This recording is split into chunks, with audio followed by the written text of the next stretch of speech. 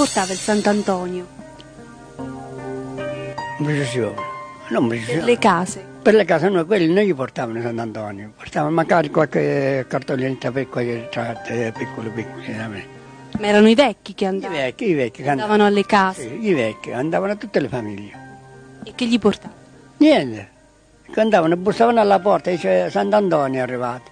Allora gli aprivano le famiglie, facevano entrare dentro, gli davano da bere. gli davano- Quando i figuranti di Sant'Antonio portavano i granati alle famiglie ricevevano in cambio prodotti agricoli di vario tipo come salsicce e altro del genere. Oggi invece ricevono una piccola offerta. Chiediamo al signor Mario che cosa eh, facevano con i soldi che ricevevano in offerta per le- la festività di Sant'Antonio. Dunque, eh, innanzitutto devo precisare che non spetterebbe a me dare queste spiegazioni perché io sono soltanto un amico del gruppo Alpini. In ogni caso, siccome partecipo attivamente a questa attività eh, che veramente eh, è incommiabile sotto ogni punto di vista, posso affermare che con il ricavato si fanno soltanto opere di solidarietà. Eh, mi spiego meglio, per esempio l'anno scorso è stato regalato un televisore col videoregistratore agli scolari della scuola materna e della scuola elementare. Negli anni passati poi è stata organizzata la Befana. Quest'anno in occasione per esempio della eh, distribuzione del libro edito dalla provincia dell'Aquila, la via dei carrettieri, il gruppo alpino ha partecipato attivamente nella preparazione del rancio che è stato somministrato a fonte canale, a fonte dall'acqua eh, in occasione del tre- trekking della neviera. Quelli di quest'anno, eh, siccome i fondi sono piuttosto esauriti, se tolte le spese di oggi resterà qualche piccola somma o prenderemo qualche iniziativa eh, di beneficenza oppure aspetteremo qualche altro piccolo risparmio e se farà un'altra iniziativa senz'altro e comunque di carattere sociale.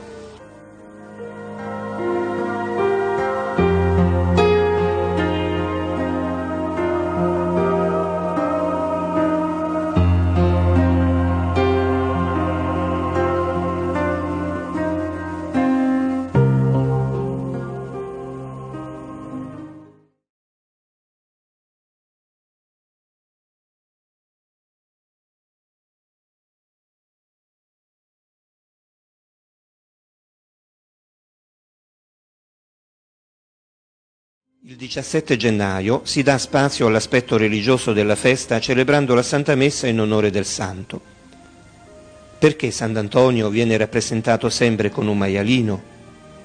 Pare che l'ordine ospedaliero degli Antoniani, nato sul suo esempio, allevasse maiali di cui usava il lardo per la cura di alcune malattie. A questa attività probabilmente si lega la protezione del santo ai maiali, poi estesa anche agli altri animali, dando origine al caratteristico rito popolare che si svolge in questo giorno davanti ai sagrati delle chiese, dove vengono radunati gli animali per la benedizione. Secondo alcune tradizioni popolari, però, nel maiale deve vedersi il diavolo che, sconfitto da Sant'Antonio, fu da Dio condannato a seguire il santo sotto questo aspetto.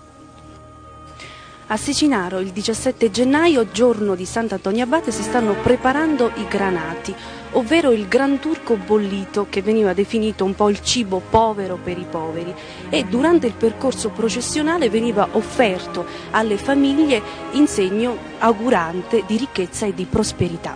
Abbiamo qui vicino il signor Peppino Bernabei e eh, gli chiediamo ehm, qual era la ricetta dei granati, dove veniva preparato e chi lo preparava. Dunque, la ricetta dei granati era il gran turco che si metteva a mollo due o tre giorni prima e dopo veniva lessato, cotto con il fuoco. E questi granati li preparavano le famiglie che avevano le bestie, le mucche, le pecore, le capre e poi li distribuivano. Ognuno lo distribuiva al suo vicinato, a 10-12 persone. E, e questi si mettevano nel piatto quando erano cotto e uno stesso della famiglia, soprattutto i bambini, andavano a portare questi granati nelle case. Da chi vengono preparati oggi i granati? Oggi siccome le bestie non ci sono più, c'è qualcuno che ce l'ha, ma non si prende questo fastidio, una famiglia sola di farlo, allora c'è il gruppo alpino che quasi tutti gli anni provvede a cuocere i granati e li distribuisce alla popolazione. Oltre a questo, i granati hanno altro significato? Sì, hanno altro significato perché sempre legandoci al, alla tradizione popolare e alla religiosità popolare hanno il significato di tenere lontano gli spiriti malefici e l'invidia naturalmente dei, dei vicini di casa o della popolazione.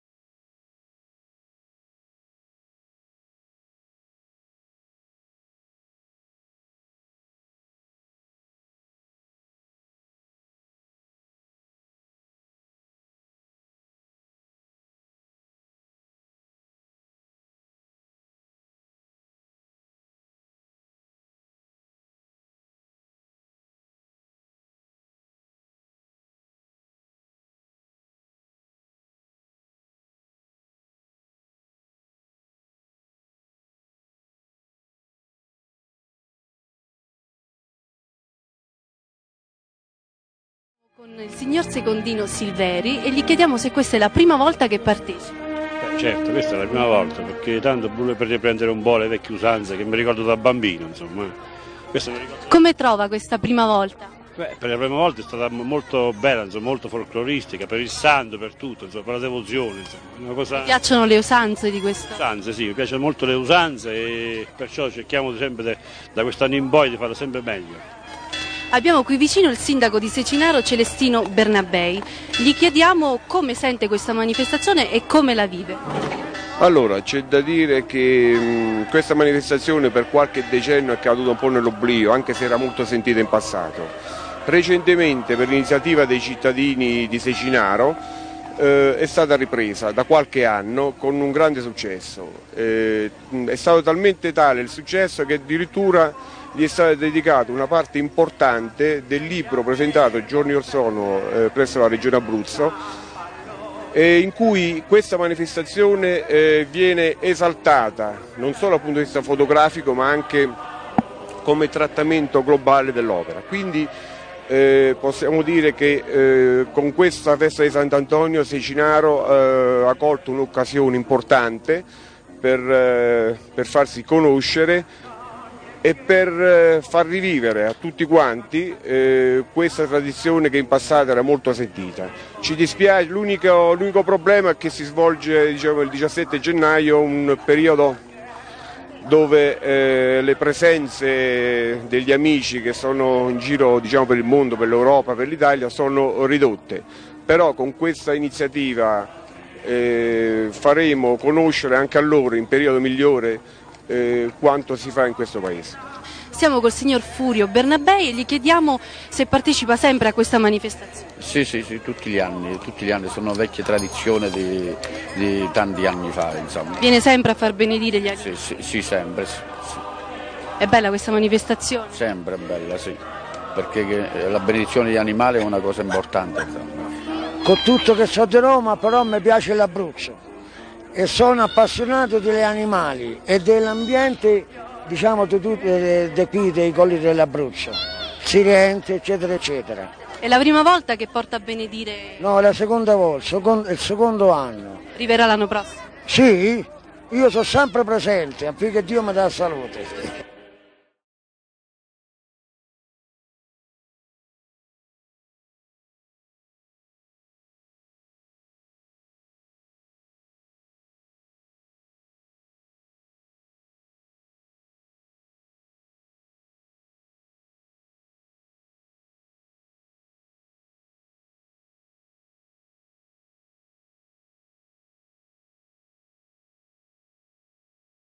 Un singolare tratto dell'arcaica società contadina e pastorale che fino agli anni 50, secondo alcune testimonianze sul campo, ha segnato il flusso di radicali contesti culturali, dove la festa era espressione aggregante intorno a miseria e povertà.